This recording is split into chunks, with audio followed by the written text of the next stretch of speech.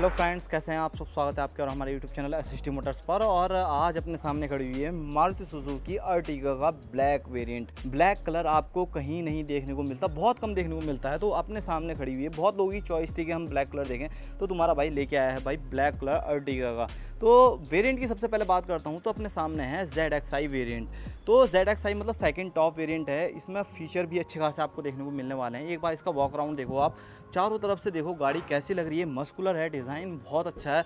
देखने में बहुत सही लगती है गाड़ी अर्टिगा भाई, उस ज़्यादातर जो यूज़ होता है ना अर्टिगा का, वो आप सभी को पता होगा कि टैक्सी में बहुत ज़्यादा यूज़ करी जाती है हमारी अर्टिगा भाई, हमारे साथ एक और यूट्यूबर हैं, वो भी अपनी वीडियो बना रहे हैं, हम भी अपनी वीडियो बना रहे हैं। उनका चैनल जो है, हमारा मोटो बुल के नाम से चैनल है यूट्यूब पर वहाँ पर आप जाके उनका भी चैनल विज़िट कर सकते हो, उनको भी थोड़ा सा सपोर्ट कर सकते हो हमारे साथ साथ। तो भाइयों, ये हो गई हमारी अर्टिगा का black variant Z X I variant तो इसमें अब क्या क्या चीज़ें ऑफ़र करी जा रही हैं, क्या नहीं है, क्या चीज़ होना चाहिए था, वो सारी चीज़ें एक्सप्लेन करते हैं धीरे धीरे आप और हम दोनों मिलकर। सबसे पहले बात करते हैं गाड़ी के हेडलैम्प की तो हेडलैम्प कैसे आपको देखने को मिलने वाले हैं? पूरा ही क्रोम का काम अच्छा खासा आपको देखने को मिल जाता है।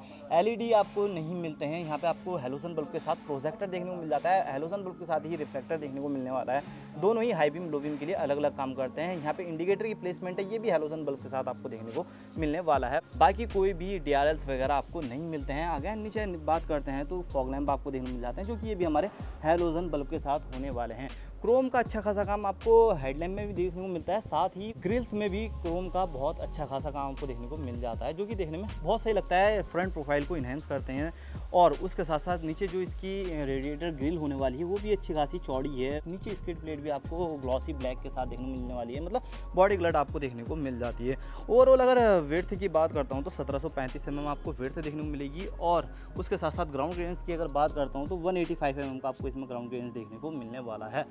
तो कुछ इस तरीके का पूरा फ्रंट प्रोफ़ाइल होने वाला है। चलते हैं। साइड प्रोफ़ाइल की तरफ़ तो साइड में क्या क्या चीज़ें आपको ऑफ़र करी जा रही हैं वो सारी चीज़ें बताता हूँ। सबसे पहले देखते हैं टायर्स तो टायर्स आपको देखने में पूरे डायमंड कट ऑलॉवीज देखने को मिल जाते हैं। प्रोफ़ाइल की अगर बात कर लेते हैं तो 185, 65, आर फिफ्टीन पंद्रह इंच के diamond cut alloy wheels front में डिस्क हैं रियर में आपको ड्रम ब्रिक्स देखने को मिल जाते हैं। और उसके साथ साथ A B S E V D E S P वो तमाम के तमाम फीचर जो होने चाहिए गाड़ी के अंदर वो सारी चीज़ें आपको देखने को मिल जाती हैं ओवरऑल अब इसके एक चीज़ और बताता हूँ ये जो टायर साइज़ है आपको स्विफ्ट में भी देखने को मिलता है और अर्टिगा में भी इतनी लंबी, इतनी चौड़ी गाड़ी में भी आपको यही टायर साइज़ देखने को मिलने वाला है। क्या बात है। ए पिलर पूरा आपको ग्लॉसी ब्लैक फिनिश के साथ बी पिलर भी पूरा ग्लॉसी ब्लैक फिनिश के साथ। वहीं अगर सी पिलर की बात करता हूँ तो बहुत अच्छा खासा क्वार्टर ग्लास के साथ मर्ज हो जाता है, जो कि देखने में बहुत सही लगता है। लेंथ जो है ना गाड़ी की, बहुत ज़्यादा है, बहुत अच्छी खासी लेंथ है। लगभग लगभग पाँच मीटर की गाड़ी होने वाली है। उसके साथ साथ वारियम्स आपको इलेक्ट्रिकली एडजस्टेबल हैं फोल्डेबल हैं जेड एक्स आई वेरियंट है तो ये चीज़ें तो आपको सारी मिलने ही वाली हैं। ट्रेन इंडिकेटर आपको वारियम्स पे ही देखने को मिल जाता है। अगेन अगर मैं बात करता हूँ इसके डोर हैंडल्स की तो क्रोम फिनिश के साथ आपको देखने को मिलते हैं, जो कि ब्लैक कलर के साथ बहुत अच्छे खासे निखर के आ रहे हैं। रिक्वेस्ट सेंसर आपको बूथ साइड देखने को मिल जाते हैं, दोनों ही साइड होने वाले हैं, उसमें आपको कोई दिक्कत नहीं मिलने वाली है। उसके साथ साथ रियर का डोर हैंडल्स भी आप देख सकते हो। और जो इसकी रियर डोर है ना भाइयों, क्या बात है। इतना चौड़ा डोर है और जो इसकी विंडो है ना, विंडो भी काफ़ी चौड़ी आपको देखने को मिल जाती है, देखने में बहुत सही लगती है। क्या बात है। मतलब अच्छी खासी चौड़ी आपको देखने को मिलने वाली है सेकंड डोर्स अगेन बात कर लेते हैं इसके पूरी ओवरऑल लेंथ की तो आपको मिल जाती है four three nine five wheel base आपको मिल जाता है सत्ताईस सौ चालीस एम का।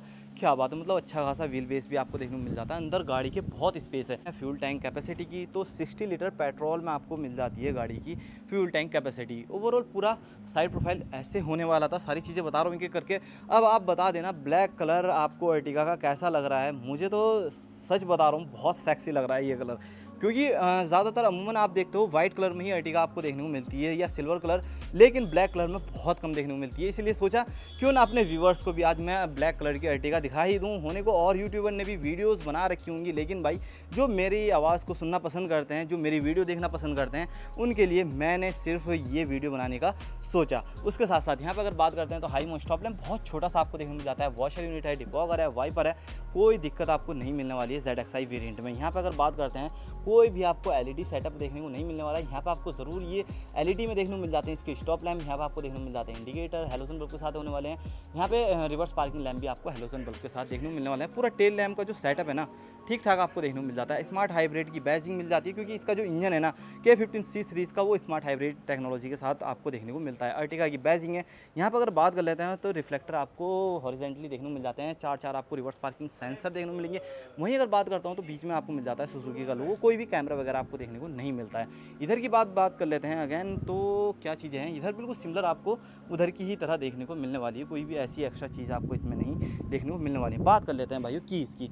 तो कीज़ कुछ इस तरीके से देखने को मिलने वाली है। दूसरी वाली दिखा देता हूँ। ब्लू कलर की आपको फिनिश देखने को मिलेगी। दो बटन ऑन वाले हैं लॉक एंड अनलॉक करने के लिए। दोनों ही सेम चीज़ है। की लेस एंट्री है जेड एक्स आई वेरियंट है तो उसमें तो आपको सोचने की कोई भी ज़रूरत है नहीं। उसके साथ साथ यहाँ पर रिक्वेस्ट सेंसर है। ओपन कर लेते हैं। अब बात कर लेते हैं डोर्स की। तो डोर्स आपको पूरा डुअल टॉन तो नहीं कह सकते सिंगल टॉन ही है, क्योंकि यहाँ बस छोटा सा टेक्सचर आपको देखने को मिलने वाला है। ग्रीस कलर के कॉम्बिनेशन के साथ आपको देखने को मिलेगा। चारों ही पावर विंडो के स्विच हैं। विंडो लॉकर है डोर लॉकर है इलेक्ट्रिकल एडजस्ट एंड फोल्ड करने के लिए। क्रोम फिनिश के साथ डोर लीवर भी है।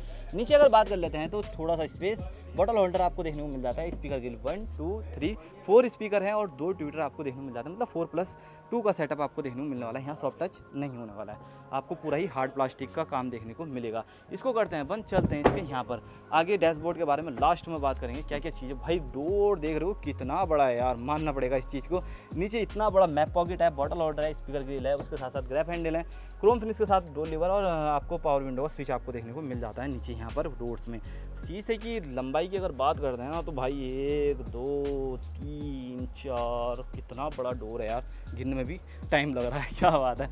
आ जाते हैं सीट्स पे तो सीट्स आपको देखो, सबसे पहले फैब्रिक देखने को मिल जाती हैं, और उसके साथ साथ आईसो फिक्स आपको देखने को मिल जाती है जेड एक्स वेरियंट में। अंडर थाई सपोर्ट करने की ज़रूरत ही नहीं है, बहुत अच्छा खासा अंडर थाई सपोर्ट है कंफर्टेबल सीट्स हैं।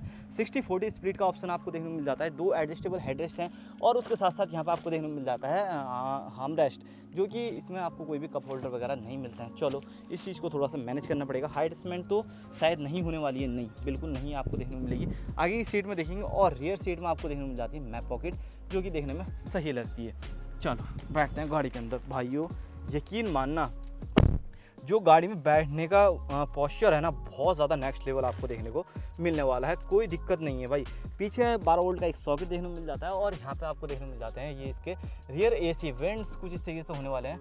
ऑन ऑफ़ कर सकते हो अपने अपने अकॉर्डिंग आपको अगर ज़्यादा करनी है ज़्यादा भी कर सकते हो कम भी कर सकते हो। यहाँ पे रियर सेकेंडरी कैबिन लैंप आपको देखने को मिल जाता है। और थर्ड रो की अगर बात करते हैं तो यहाँ पे एक बारह वोल्ट का सॉकेट है। यहाँ पे बॉटल होल्डर देखने को मिल जाता है। इधर की बात करते हैं अगैन तो अगैन इधर यहाँ हमको क्या क्या चीज़ें देखने को मिलती है? कुछ भी नहीं है सिर्फ़ एक बॉटल होल्डर आपको देखने को मिलने वाला है। और पोजिशनिंग हम्म, की बात करता हूँ बैठने की अगर मैं बात करता हूँ तो तीन और पीछे दो और फ्रंट दो सेवन सीटर अपनी गाड़ी बन जाती है। चलो, यहाँ की सारी बातें हो गई। अगेन बात करते हैं इसके बूट की। तो बूट में क्या क्या चीज़ें आपको देखने को मिलने वाली हैं, वो सारी चीज़ें बता देते हैं फटाफट। फिर चलते हैं इसके डैशबोर्ड की तरफ़। देखो इलेक्ट्रिक नहीं मिलता है मैनुअली आपको देखने को मिलता है कुछ इस तरीके से। आप इसको ऑन कर सकते हो। बात करते हैं स्पेस की तो कुछ इस तरीके का स्पेस होने वाला है। यहाँ पर आप अपनी टूल किट वगैरह रख सकते हो इसकी गाड़ी की। बाकी यहाँ पर कुछ इस तरीके का स्पेस है। इसमें आप सी एन जी वेरियंट भी ले सकते हो। अगर सी एन जी आपको चाहिए तो सी एन जी भी आपको मिल जाएगा। बाकी स्पेस इतना ज़्यादा आपको नहीं मिलता है। दो या तीन छोटे छोटे जो हमारे सूटकेस होते हैं, वो आ जाएँगे। बाकी ज़्यादा लगेज आप नहीं रख सकते हो। लेकिन जब इस गाड़ी को कोई लेता है टैक्सी में अगर ये चलती है तो ऊपर अपने छत लगवा लेता है रूफ जो होता है, वो लगवा लेता है। बाकी अगर स्पेस अगर आपको चाहिए, पाँच बंदे अगर ट्रैवल कर रहे हैं तो उसके साथ आप इस सीट को फोल्ड करके बूट बढ़ा सकते हो, जो कि अच्छा खासा बूट आपको मिल जाता है। ओवरऑल अब बात कर लेते हैं भाइयों, अंदर इंटीरियर की। इंटीरियर में क्या क्या चीज़ें आपको देखने को मिलने वाली हैं? बाकी सारी चीज़ें धीरे धीरे हमने कवर कर ली हैं। बात करते हैं यहाँ की सीट्स की। तो सबसे पहले देखो हाइट्स में देखने मिल जाता है। अंडर था सपोर्ट क्या बात है अच्छा खासा है टेक्सचर अच्छा खासा है फैब्रिक होने वाला है। एयर बैग की अगर मैं बात कर लेता हूँ तो टोटल आपको दो ही एयर बैग देखने को मिलेंगे, चार या छः का कोई ऑप्शन नहीं है, क्योंकि आपको ये जेड एक्स आई वेरियंट है, ऊपर का अगर वेरियंट लोगे तो उसमें आपको देखने को मिल जाएँगे। बैठते हैं गाड़ी के अंदर और बताता हूँ, अंदर क्या क्या चीज़ें आपको देखने को मिलने वाली है। यहीं से स्टार्ट कर लेते हैं, जब यहाँ पे देखे हैं तो। ये कुछ ऐसा ग्रे कलर का आपको टेक्सचर देखने को मिल जाता है। बाकी अगर बात करते हैं तो हेडलैम्प लेवल है ई एस ऑन ऑफ़ करने के लिए idle start stop button engine start stop button आपको देखने को मिल जाता है। कीलेस एंट्री है तो भाई इंजन स्टार स्टॉप बटन तो बेसिकली आपको देखने को मिलेगा ही। अगैन अगर बात करते हैं तो नीचे आपको मिल जाते हैं ए बी सी पैडल। बैठते हैं गाड़ी के अंदर। सारी चीज़ें तो हो गई हैं लगभग लगभग। अब बस इंटीरियर की बात करते हैं, फिर उसके बाद चलेंगे इंजन के बारे में बात करेंगे। ओहो, भाई, थकन लग जाती है। बोलते बोलते बोलते। क्या करें? काम ही कुछ ऐसा है अपना। चलो। यहाँ पर अगर मैं बात करता हूँ, इसका इग्निशन ऑन करा मैंने। वाह भाई। सबसे पहले बात करते हैं स्टेयरिंग की। तो नॉर्मल स्टेयरिंग देखने को मिल जाता है। कोई भी लेदर रेपिंग नहीं है। यहाँ पे कंट्रोल्स म्यूज़िक सिस्टम के ज़रूर देखने को मिल जाते हैं। यहाँ पे टेलीफोन के कंट्रोल्स आपको देखने को मिलने वाले हैं। इसको करते हैं बंद। यहाँ पर अगर मैं बात करता हूँ एडजस्टमेंट की तो भाई तेल टेंट बस, टिल्ट ही आपको देखने को मिलने वाला है। यहाँ पर एक चीज़ मुझे मिसिंग लग रही है ऑटोमेटिक हेडलैम्प आपको यहाँ पर नहीं मिलते हैं मैनुअली देखने मिलते हैं, क्या कर सकते हैं भाई? चलो, यहाँ पर आपको मैनुअली ही आपको वाइपर के कंट्रोल्स भी देखने को मिलने वाले स्मार्ट हाइब्रिड की जैसे आप जानते होंगे मोटर और बैटरी दोनों चीज़ों पर ये काम करती है, इंजन पर और मोटर पर जब इसकी बैटरी चार्ज होती है तो ऑटोमेटिक अपना आप ही ये हमारी चली जाती है बैटरी पर और जैसे ही डाउन होती है, फिर हमारी आ जाती है इंजन पर तो पता भी नहीं चलता जब ये चलती है गाड़ी। ओके अगर क्लस्टर की बात करते हैं तो टैको स्पीडो आपको देखने को मिल जाता है। जो सेक्सी सा लुक है ना वो आपको मिल जाता है इस गाड़ी के क्लस्टर के अंदर। बाकी अगर इसकी इन्फॉर्मेशन आपको चेंज करनी है तो यहाँ से आप चेक कर सकते हो इको, फ्यूल इकोनॉमी और ड्राइव रेंज टाइम टाइम ये आ गया। उसके बाद टॉर्क पावर वगैरह ब्रेक एक्सलेट वो तमाम के तमाम फीचर आपको इस डिस्प्ले के अंदर मिल जाते हैं जो होने चाहिए। नीचे टोटल ओडोमीटर है टाइम है और बाहर का टेम्परेचर आपको देखने को मिलने वाला है।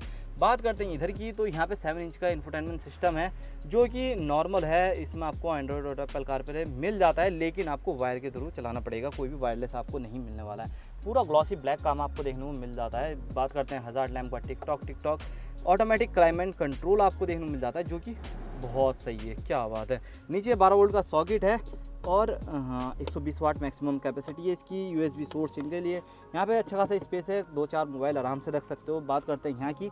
तो ये भी आपको अच्छे खासे दो कप होल्डर देखने को मिल जाते हैं जो कि कूल्ड होने वाले हैं भाई ये बहुत बढ़िया चीज़ है।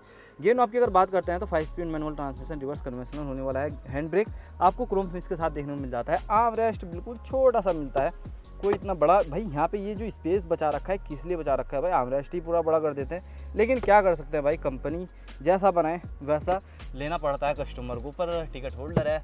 अगेन बात करता हूँ, इसके आई आर वी एम की तो मैनुअली देखने को मिल जाता है। डेनाइट है, ये एक अच्छी चीज़ है। उसके साथ साथ हेलोजन बल्ब है। यहाँ पे आपको वैनिटी मिरर देखने को मिल जाता है। कोई भी वैनिटी मिरर पे आपको लैंप वगैरह नहीं मिलता है। यहाँ पे भी कोई लैंप नहीं है अपने ग्लब बॉक्स के अंदर। बाकी ठीक है। चलो, ये सारी चीज़ें हो जाती है गाड़ी के इंटीरियर के अंदर। अब चलते हैं गाड़ी के भाइयों बाहर। बाहर देखते हैं क्या क्या चीज़ें आपको देखने को मिलने वाली है। बाहर मतलब बाहर से मेरा मतलब है भाई, चलते हैं इसके इंजन वे की तरफ़। इंजन वे में क्या क्या चीज़ें आपको देखने को मिलने वाली है। फटाक से करते हैं वीडियो को ख़त्म। तो भाइयों, ये आ गई अपनी, कुछ इस तरीके से इंजन आपको देखने को मिलने वाला है। जो कि आता है भाई स्मार्ट हाइब्रिड टेक्नोलॉजी के साथ के फिफ्टीन फ़ीस सीरीज़ का चौदह सौ बासठ C C one point five litre engine आपको देखने को मिल जाता है। बात करता हूँ पावर की तो one zero two B H P की पावर और one thirty eight N M का आपको इसमें टॉर्क देखने को मिलने वाला है। क्या बात है। उसके साथ साथ माइलेज की अगर बात कर लेते हैं तो लगभग लगभग भाई कंपनी क्लेम करती है ट्वेंटी के एम पी एल का। सारी चीज़ें मैंने एक एक करके आपको इस गाड़ी के बारे में बताई। ये ब्लैक कलर बहुत कम देखने को मिलता है। आपको भी मैंने ये वीडियो के द्वारा दिखा दिया है कि भाई ब्लैक कलर कैसा होने वाला है, क्या इसके अंदर फीचर हैं। वो सारी चीज़ें मैंने बताई है। अब बात आ जाती है भाई इस गाड़ी की कीमत की तो कीमत कितनी है? जेब पे कितनी भारी पड़ने वाली है ये गाड़ी? आपको मिल जाती है दस लाख अठासी हज़ार रुपये एक शोरूम वहीं अगर ऑन रोड की बात करता हूँ तो आया हूँ मैं शाह कुंबरी ऑटोमोबाइल के नाम से शोरूम है सहारनपुर रोड पे। तो वहाँ पे मोटा मोटा पड़ जाती है आपको बारह लाख साठ हज़ार रुपये की। मतलब बारह लाख साठ हज़ार रुपये आपको निकालने पड़ेंगे अपनी जेब से, तब आपके पास इस गाड़ी की चाबी आने वाली है। तो भाइयों वीडियो हो गई है पूरी कंप्लीट वीडियो कैसी लगी, गाड़ी कैसी लगी, वीडियो में भाई कमेंट सेक्शन में ज़रूर बता देना। बहुत ज़्यादा मेहनत हो रही है। तो प्लीज़ मेहनत का फल आप ही लोग दोगे। जब सब्सक्राइब करोगे लाइक करोगे शेयर करोगे, तभी मुझे भी बहुत अच्छा लगने वाला है। मिलता हूँ ऐसी किसी नेक्स्ट वीडियो में तब तक के लिए जय हिंद जय भारत।